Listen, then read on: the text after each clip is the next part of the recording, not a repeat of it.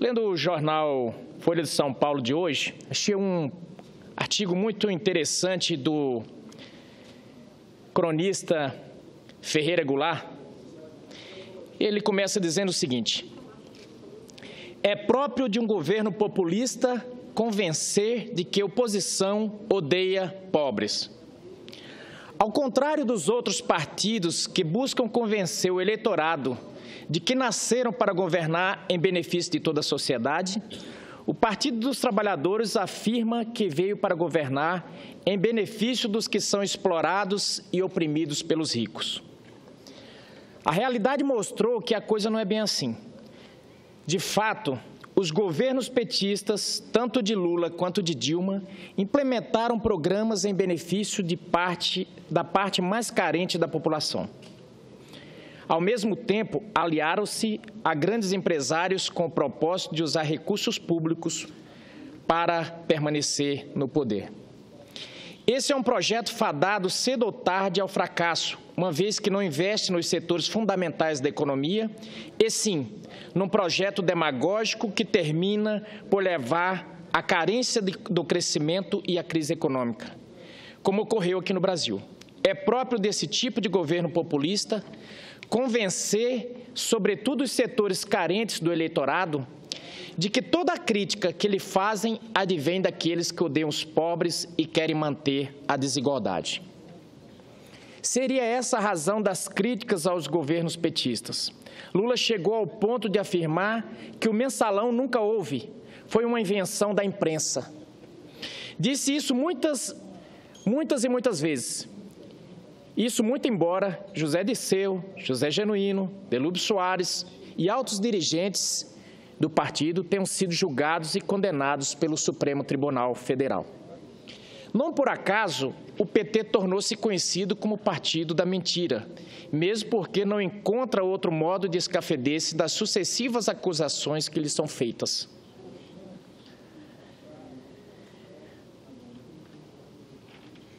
Não por acaso que lhes são feitas, não pela imprensa que apenas as divulga, mas pelo órgão de Estado brasileiro encarregado de apurar a corrupção e punir os corruptos.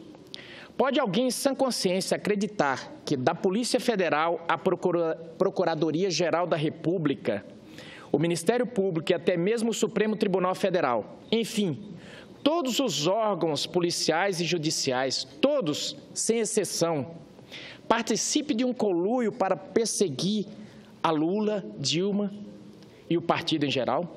Pode alguém acreditar nisso? Claro que não. Sucede que não é isso que preocupa Lula e, e o seu pessoal. Eles não pretendem convencer o povo brasileiro em geral. Tudo o que dizem e fazem tem por objetivo o seu eleitorado, os aliciados do partido, pois sabem muito bem que suas mentiras não convencem o povo em geral, mas convencem, mas convencem os que rezam a sua cartilha. Por isso, não importa se você ou eu não acreditamos que o impeachment seja ou não um golpe. Importa, isso sim, que seu eleitorado acredite nos que, no que dizem e continue, e continue votando no partido. Sim, porque se ele muda de ideia e acredita na verdade, será o fim de Lula e do seu partido. E é com esse mesmo propósito que, para surpresa geral, Lula recorreu à Organização das Nações Unidas, alegando ser vítima de abuso de poder de parte da parte do juiz Sérgio Moro. A rigor, o que significa semelhante recurso a um órgão internacional da importância da ONU? Significa implicitamente afirmar que os órgãos responsáveis responsáveis pela aplicação da justiça no Brasil não têm isenção para aplicá-la. Consequentemente, para que Lula tenha seus direitos de cidadão respeitados, torna-se necessária a intervenção daquela entidade internacional. Ou seja, como no caso do mensalão e do petrolão, ele continua sendo acusado injustamente. Trata-se, na verdade, de um disparate, mesmo porque a ONU só intervém em tais casos depois que são esgotados todos os recursos judiciais do país onde o problema ocorre. O que não é o caso de Lula, que nem réu ainda era quando impetrou tal recurso. A conclusão que inevitavelmente temos de chegar é que Lula, sabendo da improcedência de tal recurso, usou para fazer-se de vítima em vez de culpado, o que obrigaria a explicar-se diante de seus eleitores. Em suma, não importa se é tudo uma farsa, o que você ou eu, e eu saibamos disso. Importa é que os petistas acreditem nele e continuem a tê-lo como defensor dos explorados e do, e do, e do Marcelo Odebrecht também. Esse foi um artigo contundente de Ferreira Goulart, escreveu hoje na Folha de São Paulo. E ele é interessante porque faz justamente menção a esse discurso de que quem faz qualquer crítica ao ex-presidente ou ao governo da presidente afastada Dilma Rousseff seria contra os pobres. Aquele discurso de que está se querendo aqui acabar com os programas sociais, de que está acabando com o SUS, enfim, de que tudo que é conquista trabalhista, tudo que for previdenciário vai se acabar nesse governo. Na verdade, o que quer se fazer é uma cortina de fumaça para encobrir que, por exemplo, o ano passado, 87% dos programas sociais foram reduzidos. E foram reduzidos por quê? Porque não tinha dinheiro para cobrir e para atender toda a demanda do que tinha sido aberto. Mas pega-se e joga no outro, naquela velha cartilha, cartilha do Lênin. Diga aos outros e impute, diga ao, ao eleitorado e impute aos outros o que você, na verdade, faz. Agora mesmo acabei de, de, ver o senador Lindbergh dizer aqui que o presidente Michel Temer tem oito ministros sendo investigados. É importante ressaltar, e aqui não é uma competição, mas é só para que fique claro, que o Ministério da Presidente afastada tinha 19 ministros sendo investigados. Isso é importante que se diga, porque parece que passa-se uma borracha em tudo e que agora eh, tudo que tem de ruim é desse governo. É Vossa importante me concede dizer, uma parte, senador Medeiros. Logo mais concedo, senadora Agradeço. É, Vanessa Graziotin. É importante dizer também sobre a questão das Olimpíadas, que o presidente Michel Temer teve a coragem de ir nas Olimpíadas, fez a abertura das Olimpíadas, cumpriu o seu papel. É importante falar e lembrar o que Nelson Rodrigues dizia, que no, no, no Maracanã se vai até voto de silêncio.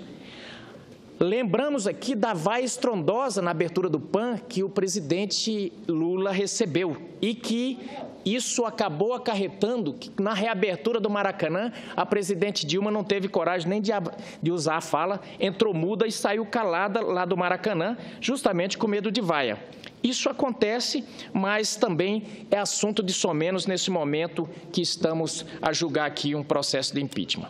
O que a gente tem que fazer o contraponto aqui é porque eu vejo uma grande força, um grande esforço para comparar esse momento democrático, esse momento de ebulição democrática que o Brasil está vivendo, querem a todo custo comparar com o 31 de março de 64, querem comparar com o processo que culminou com a ditadura no Brasil. Senador, senador Cristóvão Buarque é, é, a semana passada, fez uma linda fala a respeito desse tema. Nós não temos tanques na rua, nós temos as instituições funcionando, nós temos Ministério Público funcionando, todas elas, e temos as duas casas. Então, só num enredo fictício, só numa ficção, para acreditar que todos os atores no Brasil que a população toda vá para a rua, que as organizações se juntem para, de repente, fazer um complô contra a presidente afastada Dilma Rousseff. Do ponto de vista de um roteiro, para se construir um filme, para se contar para a posteridade, pode até ser entendível, mas não, a realidade não confirma isso. Eu tenho até dito, e falei agora há pouco, o relatório do senador Anastasia, eu esperava que ele vinha robusto, mas não tão contundente e com tanta clareza, onde temas complexos ele deixou bem claro e ficou ali aclarado até para leigo ver que houve crime de responsabilidade. Crime de responsabilidade que a todo tempo tentam confundir aqui. Tentam confundir a pessoa da presidente da República com a pessoa física da presidente Dilma.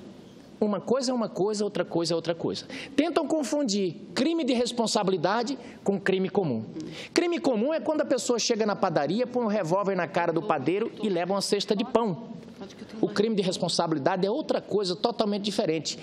O jurista Damásio de Jesus até dizia que não devia ser nem chamado de crime, devia ser chamado de uma infração administrativa. Punida com quê? Com a perda do mandato. O crime de responsabilidade é muito mais grave do que aquele que o sujeito põe um revólver na cara do padeiro. Sabe por quê? Enquanto aquele leva uma cesta, o crime de responsabilidade leva a padaria inteira. Porque ao não cuidar da, de, da, da, da gestão, faz quebrar padarias e a economia inteira. É isso que está acontecendo com o Brasil. Então, nesse momento, esse discurso de querer dizer que existe um golpe no Brasil não se sustenta. Não se sustenta porque nós estamos dentro, estritamente dentro da Constituição. Nós estamos cumprindo todos os ritos e há de dizer que a nossa Constituição é golpista. Existe a conduta, existem os fatos e existe uma lei que tipifica esses fatos como crime. Então, como dizer que há um golpe aqui? Isto é entendível, eu digo, do ponto de vista do esperneio que é justo e que é assegurado àquele que se defende mas não do ponto de vista é, da realidade que se descortina de forma muito clara dentro da população brasileira e concedo a parte à senadora Vanessa Graziotin. Senador Medeiros, eu agradeço a parte de Vossa Excelência e, primeiro, falar a respeito, a respeito do Ministério que Vossa Excelência se referiu aqui, é, do presidente interino Michel Temer. Primeiro, é lamentável que, no exercício da interinidade, ou seja, do governo, ele tenha feito mudanças tão profundas e radicais na condução da política pública do Estado brasileiro. Primeiro, é lamentável. Vossa Excelência, nós estivemos juntos na Europa, numa importante reunião da Eurolat, entidade essa presidida pelo senador Roberto Requião, e lá o que mais nos perguntavam, se podia mesmo sem uma, sem uma sentença definitiva contra a presidente Dilma, o presidente interino agir da forma como vem agindo. Mas vamos lá. Além desse absurdo, existe um outro. Não fomos nós não, que falamos e prometeu um governo técnico, um governo de alto nível, um governo que seria fora da política, portanto, técnico e de alto nível. E o que é que nós vimos? Nós vimos um governo, um governo político e sem nenhum técnico.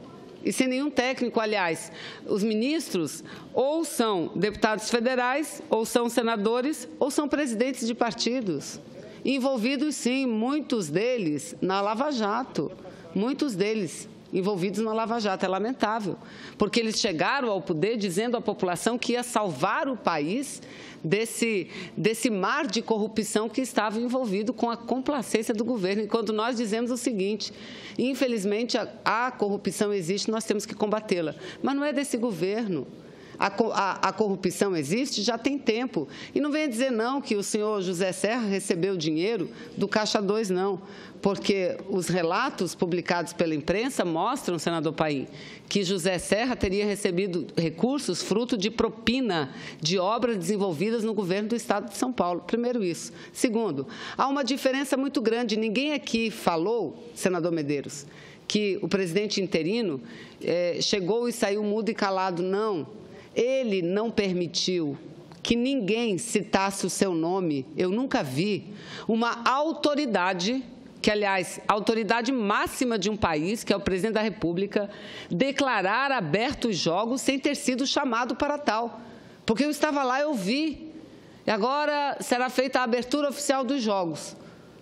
Aí ele começou a falar e ninguém entendia quem era que estava falando. Quando rapidamente as pessoas entenderam é que as vaias começaram.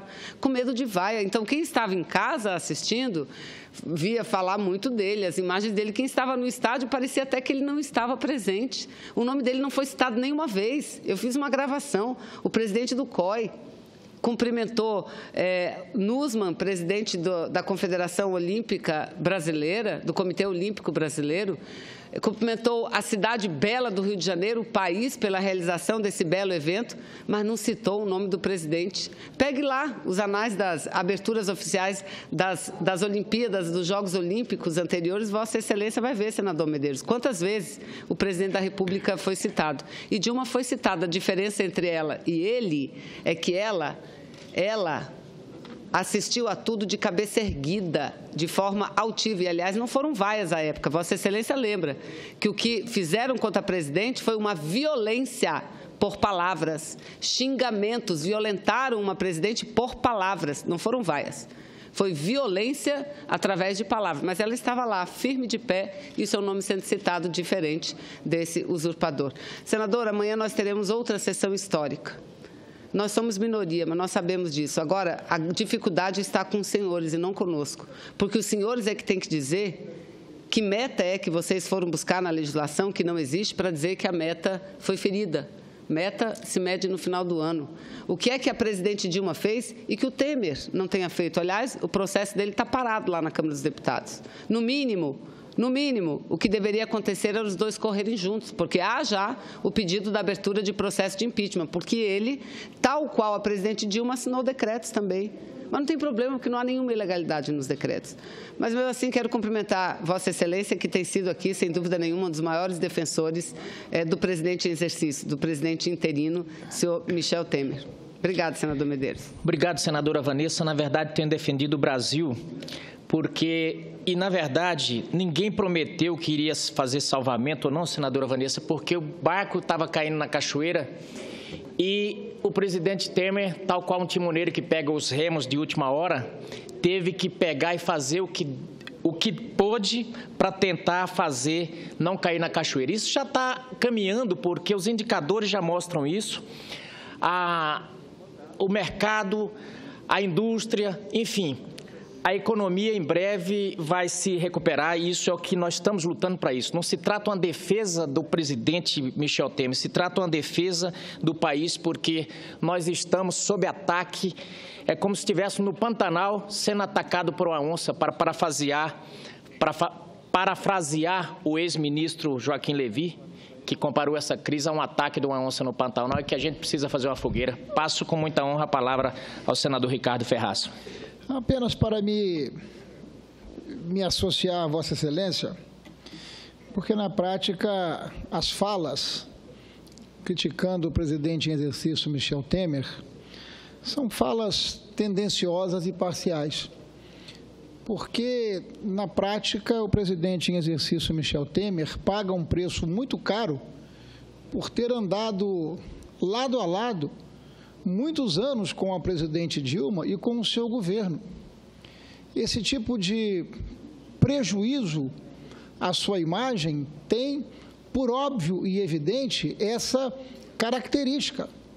Ele foi vice-presidente da República e andou de braços dados com a presidente Dilma ah, por alguns anos.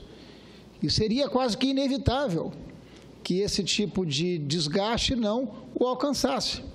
De outra forma, querer responsabilizá-lo por essa profunda e complexa crise econômica que vive o nosso país, com elevada, com elevada, com elevado impacto social, senador Medeiros.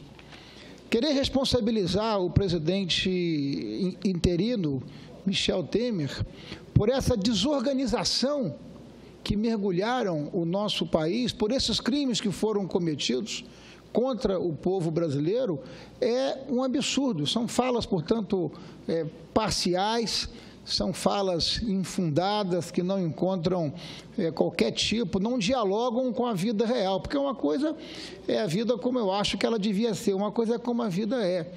De modo que eu quero crer que entre terça e quarta-feira nós vamos dar um passo decisivo aqui no Senado da República. Nós vamos virar essa página e nós vamos dar uma chance ao nosso país para que ele possa seguir adiante, superando cada um dos desafios. E vai ser necessário um trabalho muito duro, muito duro mesmo, para organizar, sabe, toda essa herança é, perversa que o povo brasileiro recebe é, desse legado deixado pela presidente afastada, que logo, logo será ex-presidente da República e irá para o panteão de uma das piores presidentes e marcas de governo de nossa República. Agradeço a parte, senador Ricardo Ferraço, e eu creio que Vossa Excelência sintetizou, a partir da sua fala, não me cabe muito falar, porque Vossa Excelência sintetizou, resumiu. O que ele recebeu foi uma herança maldita. E o resto tem sido rótulos de usurpador, de golpista, que não vou nem me ater aqui, porque o povo brasileiro sabe que nada isso é verdade, porque a presidência do, do presidente Michel Temer é uma consequência constitucional. É na Constituição que diz que na vacância da, do cargo de presidente assume o vice. E assim é por todo o Brasil, quando falta o prefeito, assume o vice-prefeito, quando assume, ou quando falta o governador, assume o vice-governador, e nós estamos no estrito cumprimento da lei. E não venham me dizer que, olha, nós estamos diante de um novo tipo de golpe. Essa falácia de alguns filósofos a serviço dessa é, esquerda retrógrada não se sustenta por não ser a, a mais real expressão da verdade. Muito obrigado, senador Paulo Paim.